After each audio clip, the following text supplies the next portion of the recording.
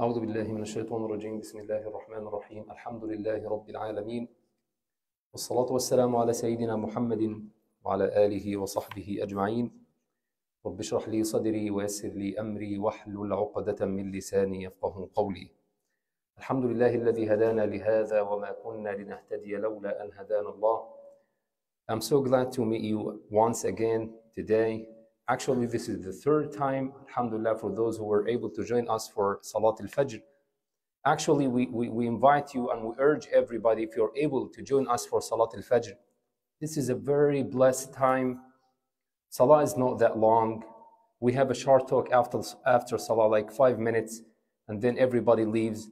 We spend a good time in the morning, starting our day by praising Allah subhanahu wa ta'ala and showing the full gratitude to Him subhanahu wa ta'ala. Like every Friday during night after Salat al-Isha, we have like a quick reflection on Khutbat al-Jum'ah. Today in Khutbat al-Jum'ah, we're talking about the importance of practicing the knowledge. We have so many ways to get the knowledge. It's easy to seek for knowledge. Allah subhanahu wa ta'ala facilitate the way that you are able to find the knowledge, but just one click. This is a great ni'mah from Allah subhanahu wa ta'ala. Yet we encourage everybody to join us in the masjid. So, uh, so it should be, inshallah, uh, uh, great and accessible to everyone to join us and to try to seek for knowledge following the way of Rasulullah Muhammad sallallahu alayhi wa sallam.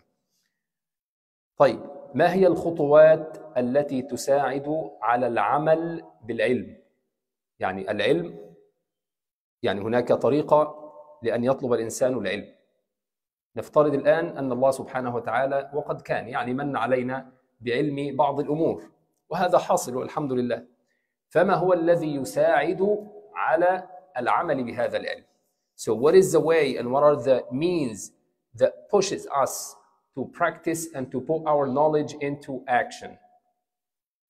We mentioned in Khutbah al-Jum'ah that Allah subhanahu wa ta'ala reprimand those people who do not follow and practice what they say. When he says subhanahu wa ta'ala, يا أيها الذين آمنوا لما تقولون ما لا تفعلون.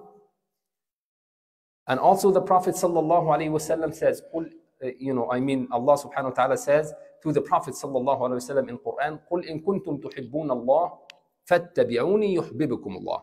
If you ask anyone, do you love Allah? He will definitely say yes. Then it's time to prove, to practice, then follow the way of Rasulullah Muhammad sallallahu alayhi wasallam. So the first step that will help you a lot practice and put your knowledge into action is to learn سيرة النبي صلى الله عليه وسلم وسيرة أصحابه الكرام to learn the biography, the lifetime of the Prophet صلى الله عليه وسلم and the lifetime of the companions, those people that Allah subhanahu wa ta'ala had chosen to be the companionship of the best of the creation, Sayyidina Muhammad sallallahu alayhi wasallam, and the seal of the prophets.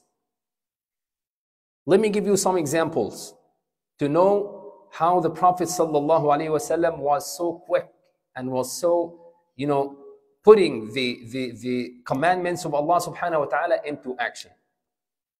لما نزلت على النبي صلى الله عليه وسلم سورة النصر بسم الله الرحمن الرحيم تحفظونها إذا جاء نصر الله والفتح ورأيت الناس يدخلون في دين الله أفواجا فسبح بحمد ربك واستغفره إنه كان توابا.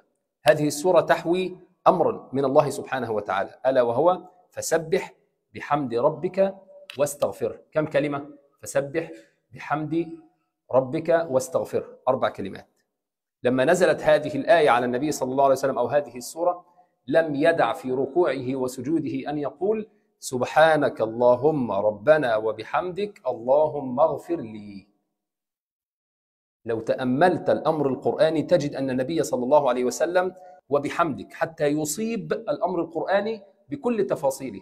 وبعدين فاستغفره الله